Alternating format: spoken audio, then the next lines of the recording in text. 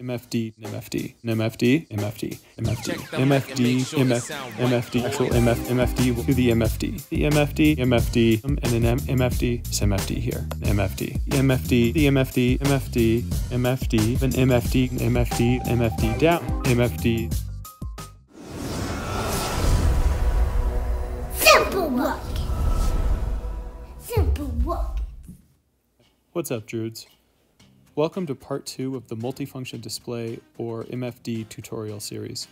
In this part, we're going to go through the different types of widgets and how to place and size those widgets on an MFD.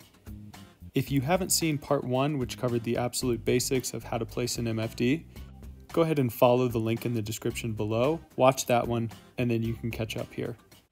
I'm not saying you gotta go back there this minute, but you gotta go back. Now, if you'll remember, once you have the MFD Vizzy program open, down here at the very bottom, there's a new menu called Multifunction Display. And in that menu, the very first line is how you're going to create a widget. Don't worry too much about most of these other lines down here. We'll cover those in future parts of this series. For now, you just need to worry about these first two. Create widget and then set widget properties.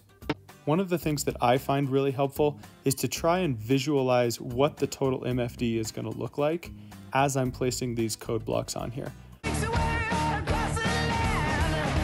Otherwise, there's a ton of back and forth that you have to do. Every single time you make an edit, you have to save the program to the craft, save the craft, play the craft, and see what the actual MFD looks like. And all of that can be a little bit tedious.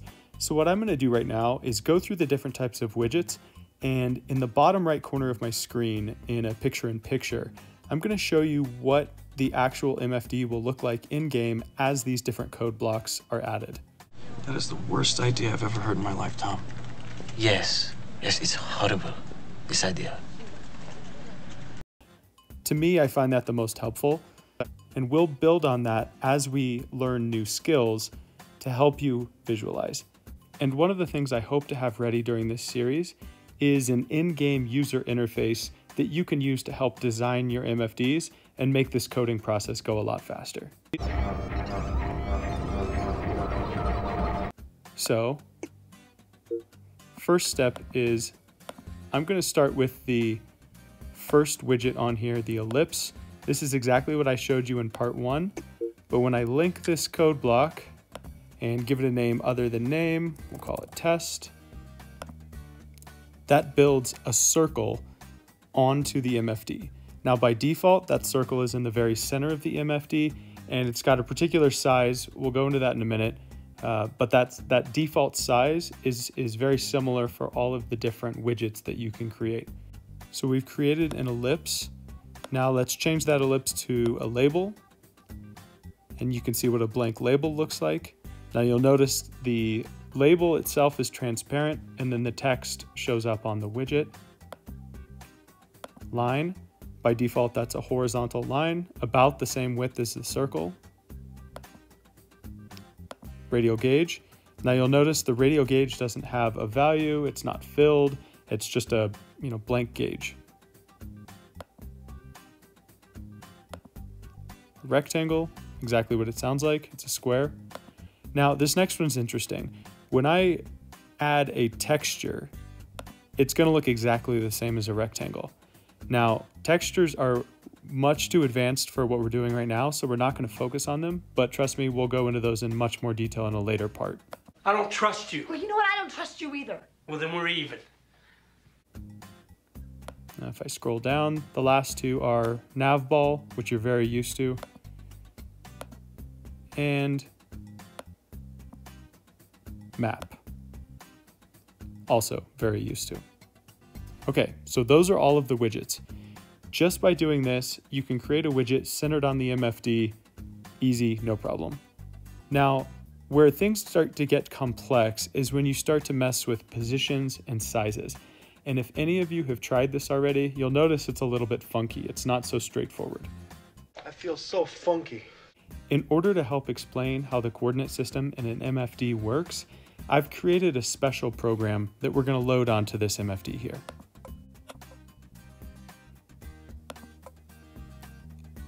I've called this my coordinate demo. I know this is quite a bit of code, but really what I'm trying to do is create a compact visualization system for both the position and sizing on any given MFD. So let's load this. Now before we go in game, I want you to remember something. The width of the MFD is one meter. I'm gonna bump up the height a little bit to add room for some text that'll become apparent in a second. So I'll make that 1.4, but the square that we're gonna be working within is one meter by one meter. So now if I play that, so you can see those lines of code generated this really simple user interface. Now, you can see here the circle is at position 0, 0, which is what we would expect. And the circle diameter is 26. Well, to understand what this really means, we're going to click on the screen. So I'm going to click on the MFD and drag this circle around. So you can see as I move it around, the circle position is changing. And so let's try and center it here. And as I move it to the right, you can see the X position goes up. And if I move it all the way over basically to the edge, it's about the edge. The edge is at 127. And then the other edge is going to be also at uh, negative 127. And then the top, if I try to center it, about 128 and then negative 128. So the overall width of that one meter MFD is represented by 2 times 128 or 256 individual, we'll call them pixels. It's not really pixels. So that means that the density of an MFD grid is 256 pixels per meter. That's really important to remember because let's say you create an MFD that's one meter by one meter, and then you add it to a different part of the craft, you size it down to a half meter by half meter, but let's say you defined the positions of all of your widgets in absolute values, then as you size that MFD down, most of those widgets aren't going to be visible anymore because they won't be within that smaller grid. So we've got to devise a solution here that uses a more universal coordinate system. So we're going to spend some time doing that in a second. The other thing to note, I just made this because it's cool, but you can size up the circle diameter on there and you can see really clearly when the diameter is 256, it pretty much fills this square. Now that we have a good understanding of how the default coordinate system works, let's try to create one of our own that makes a little bit more sense so that you can design MFDs that can easily be resized and even reshaped in some cases. And it's not just making them smaller, they completely reshape them. They make them more supple and symmetrical.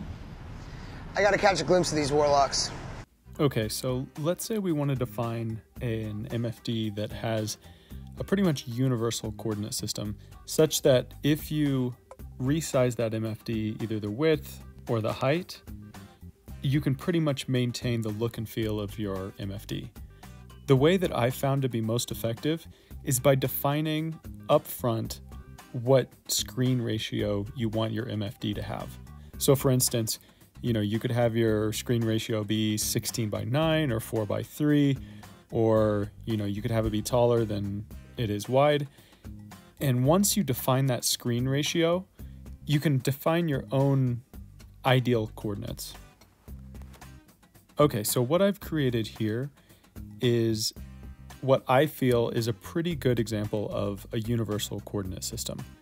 Now, what I mean by that is in the example we showed before, if you were to resize that MFD from one meter by one meter down to half meter by half meter, you would only show about half of the total screen and the lines wouldn't look right. The circle would be much bigger than you wanted it to be. And what you really want to do instead is essentially scale things according to a particular screen ratio that you define.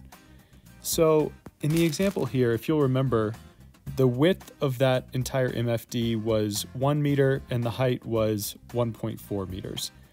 So what I'm doing here is I'm saying, all right, I want the width to be a thousand units and the height to be 1400 units.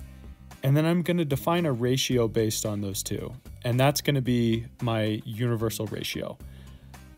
What I'm looking for there is I really want my screen to resize but hold that ratio no matter what size the MFD is. So if I make the MFD super, super, super wide, I still want it to scale to that exact ratio, but only fill up the portion of the screen that it can.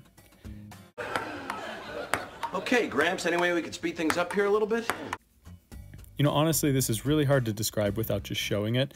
So I'm going to take this code that I've created and show you what happens when we resize the MFD. So first, you've seen the MFD with these dimensions, 1 meter by 1.4 meters. But the example I talked about before is let's size it down to half meter by 0.7 meters. So I've cut the entire thing in half.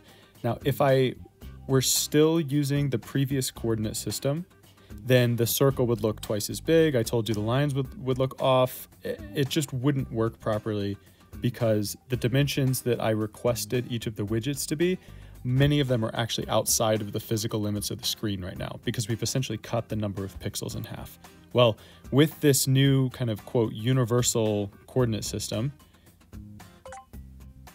you can see here everything scales properly. Now, let's check here. You'll notice now when we move things around, they're in terms of my universal coordinate system, which is a thousand pixels wide, so 500 and 500 and negative 500. And then once I go outside the bounds up here, you can see the y coordinate goes above 500 into the 600s. And if I go to the very top, it's around 700, right? Because I, I defined the total height as 1400. So this is a much better way to define your MFD. Let's see what happens when we change up the screen ratio from our desired. In this particular example, let's say you were defining this MFD to be used on multiple different types of crafts. Well, you want any other user who picks this up to be able to resize it if they want um, and not necessarily have to worry about maintaining that absolutely perfect screen ratio. You want it to still show up even if it's not perfect. So in this particular case, let's say I just expand the width out. Let's say I make it really extreme. Okay, so it's super, super wide. What I want to happen is I want that MFD to look exactly the same but just fit within a smaller screen size. So let's see what happens when I play this.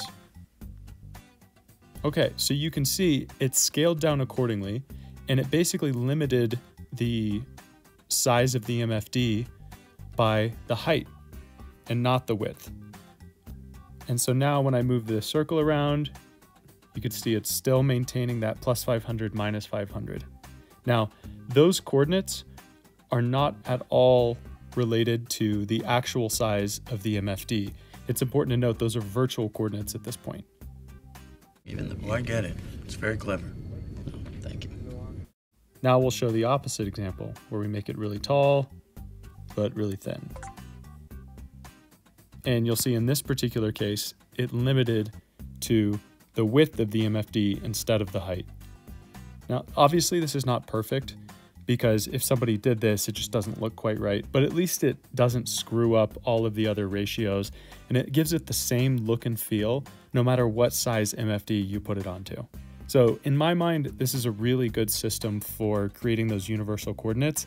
And it grounds you because you can always think in terms of that 1000 by 1400 ratio that we defined previously. If you're going to be defining lots of different types of MFDs, having that singular coordinate system that makes sense to you is absolutely the way to go. It's worth noting too that it doesn't have to be a, large numbers like that. You could make it, you know, 1 by 1.4 if you wanted to, if that was more convenient for you to think in. The key is maintaining that screen ratio so that it looks the same. Okay, I'm going to upload my universal virtual coordinate system with this example on here for anybody who wants it. Come on, guys. Nobody wants this. The goal of this tutorial series is to make the process of creating MFDs more accessible to more people in the community. So I'm really hoping this introduction to widgets and coordinate systems helps you get even better at making these MFDs and more confident in putting them on the website. Okay, that's all I've got for today. Next time, I'm going to start diving into each of the individual widget types to get you a little bit deeper understanding of what those widgets can do and the types of properties we have available to us. As always, if you like this content, go ahead and like and subscribe. I will not. See you guys next time. Bye.